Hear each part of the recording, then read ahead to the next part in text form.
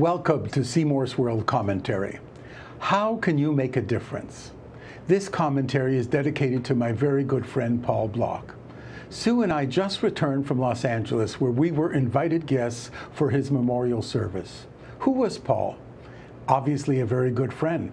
He was chairman of Rogers & Cowan, the largest public relations firm in Hollywood. Paul represented stars such as Bruce Willis, John Travolta, Michael Keaton, Tony Bennett, Sylvester Stallone, and many, many more. What does that have to do with us?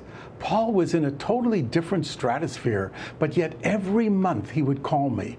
He would ask personally about Sue, Aaron, and Alana, what they were doing, how I was doing with my fight with cancer, how how is business, always complimenting on my foundation and my philanthropy.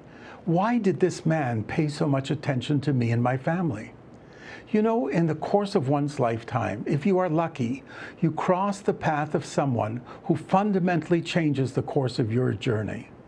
I spoke to so many of the 300 guests at the service who told me the same thing.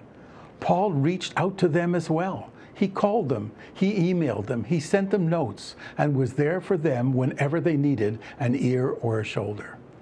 That was his human touch. It was his belief that every friend, hundreds of them, deserved his attention. So now I realize that we, you and I, can make a difference by simply reaching out to one person every day and saying, hello, how are you, what's doing?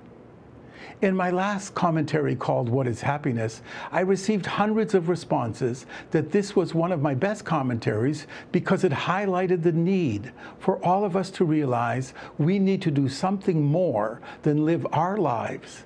We need to do it because we need to do something for others. What's the simplest thing to do?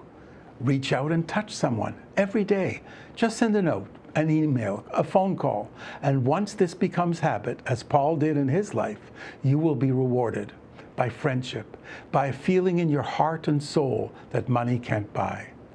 Paul's legacy has taught me that human touch in any way possible is the answer to making a difference. There will be never enough words to describe the enormity of Paul's influence on all of us, but I can tell you the imprint he left on me will help all of us live a better life.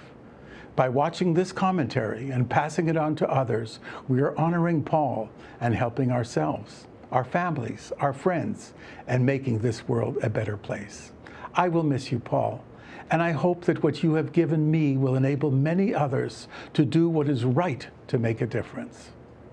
Thank you for watching Seymour's World Commentary on ThinkTech Hawaii. Please send me your comments. Aloha.